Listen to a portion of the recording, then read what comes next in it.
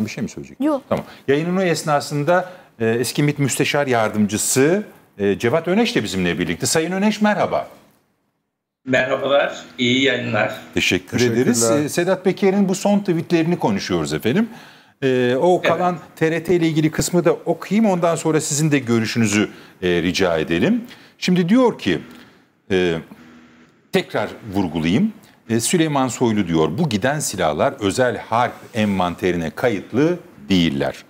Devletin herhangi resmi bir birimine de kayıtlı değiller diyor. E, Buradan şey faslına geçiyor. E, 15 Temmuz akşamı TRT e, faslına geçiyor. E, sen o tarihlerde Sosyal Çalışma ve Güvenlik Bakanlığı'ndaydın diyor Sedat Peker. 15 Temmuz'da kahramanlık rolleri oynarken TRT binası baskınına gittiğinde hepsinin elinde Kalaşnikov marka silahlar olan birçok sivil şahıs vardı diyor. Bu silahlar da devlet envanterine kayıtlı değil. Peker'in iddiası 15 Temmuz'da orada e, belli kişilerin elinde Kalaşnikov e, silahların e, bulunduğu yönünde ve bunların da devlet envanterine kayıtlı olmadığı yönünde. E, biraz önce anlattığım dağılımı senin tarafından koordine edilen hiçbir silah da devlet envanterine kayıtlı değil. Şimdi senin Cumhurbaşkanı olmanı planlayan arkandaki şaibeli organizasyonla 15 Temmuz sonrasında da bu silahları dağıtmaya neden devam ettiniz? Ee, öyle ya bu silahları gerektiğinde dağıtma görevi özel harp dairesine ait. Diyor ki Soylu'ya hitaben e, bir fırsat veriyorum. Benim yalan söylediğimi kanıtlarsan bugüne kadar anlattığım her şeyin boşa çıkmasını e, kabul ediyorum. İsimlerini verdiğim bu kişilerin HTS kayıtlarını ve o güne ait MOBESE kayıtlarını kamuoyuna açıklayın diyor. Evet devam edeceğiz okumaya. Sayın seyirciler parça parça okuyoruz. Ama bu e, yayınımızın bu esnasında da Cevat Öneş'in e, bu iddialarla ilgili yorumunu merak ediyoruz. Sayın Öneş ne diyorsunuz Sedat Peker'in bu son tweetleri kulağınıza nasıl geldi? Neler dikkatiniz çekti? E, kimin neyi yanıtlaması gerekir bu iddialarla ilgili? Gökmen Bey, öncelikle programa katılımcılarını selamlıyorum. Sayın Halk TV seyircilerini, izleyicilerini.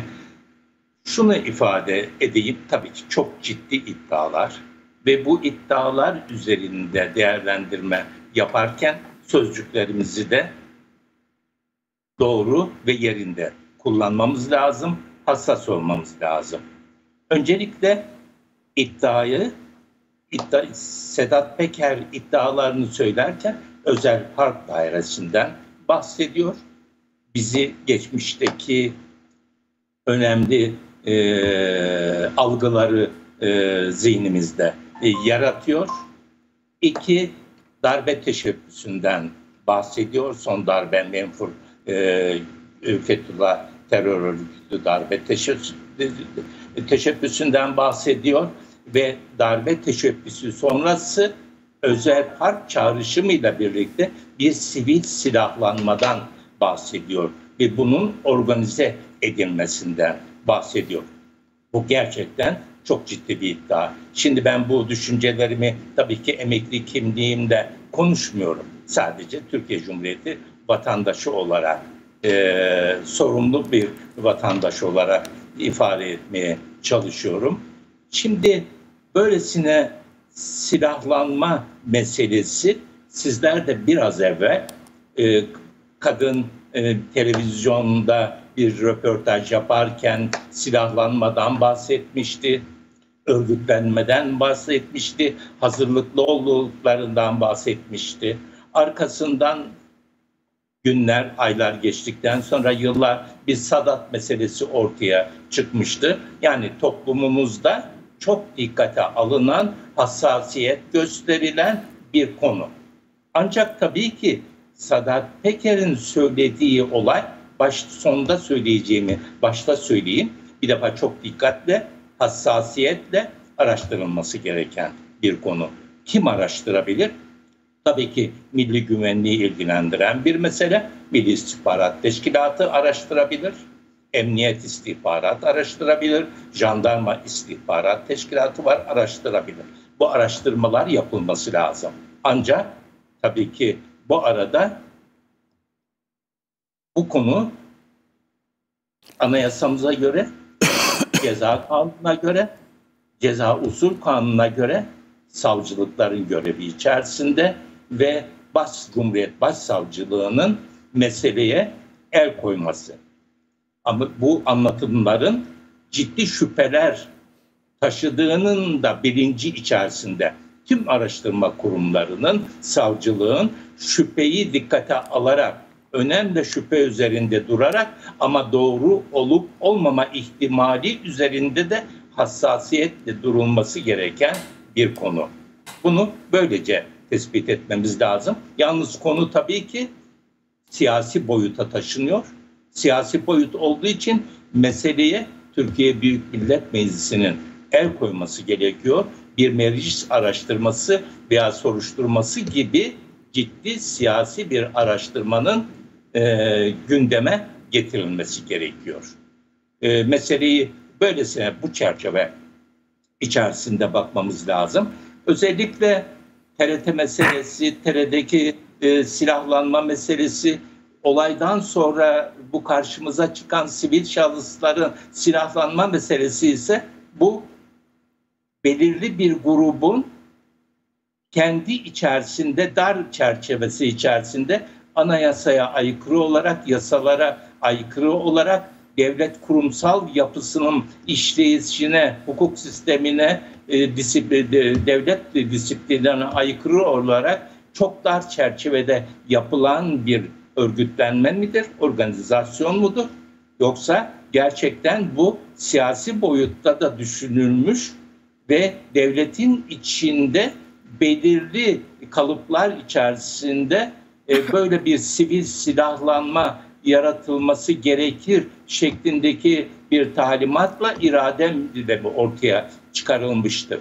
Böyle bir şüphe ortaya çıkıyor, tartışıyoruz ama dediğim gibi bu kurumsal yapıların ve Türkiye Büyük Millet Meclisi'ndeki bir araştırma e, komisyonunun e, ciddiyetle ele alması e, ve açıklığa kavuşturulması gereken bir konu. Peki şimdi e, birazdan Erol Mütercimler'in yayın esnasında bana gönderdiği mesajı yani bana kişi olarak göndermedi. İçeriye katkı amacıyla gönderdi sağ olsun. O mesajı da soracağım size. E, yorumcularım da herhangi bir şekilde e, soru anlamında e, konuya girmek isterse hiç çekinmesinler lütfen ama biraz izleyici görüşlerine de e, şey yapalım yer verelim. Şimdi Tabii. Hilmi Taşkın diyor ki e, Kalaşnikov silahların kayıt dışı olması sorun diyor. Nereden temin edildiği sorun diyor.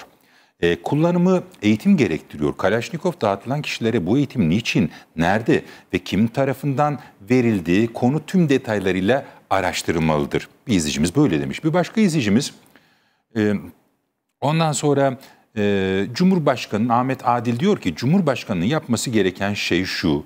Atatürkçü, laik, demokratik, e, gözü kara bir savcıyı, başsavcıyı atayıp süper yetkili donatarak tüm bu iddiaların üzerine süratle gitmek başka çözüm yok diyor.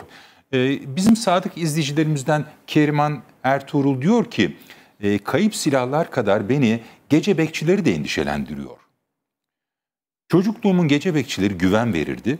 Şimdikilere güvenemiyorum. Tehlikeli buluyorum. E, yaptıkları yapacaklarının göstergesi diyor. E, Fikret Kaçmaz da o da sadık izleyicilerimizden biri. O da demiş ki e, zamanında seçim öncesinde Maranki'nin Belgrad ormanında gömülü silahlarımız var. Şimdi Fikret Kaçmaz deyince ben evet bu sözü biri söylemişti de Maranki mi söylemişti? Maranki söylemişti. Maranki, Maranki söylemişti. İşte ben 12 Eylül e, öncesini kastettim diye de bir ifade vermiş yani hatırlamıyorsun. Evet. Evet, Belgrad Ormanı'nda sil, gömülü silahlarımız var. E, ondan sonra e, işte şu yakın zamanda da e, Abdülkadir Selvi'nin Türkiye'de psikolojik savaş yürütülüyor, yürütülüyor. Bu işin hedefinde 2023 Cumhurbaşkanlığı seçimleri var.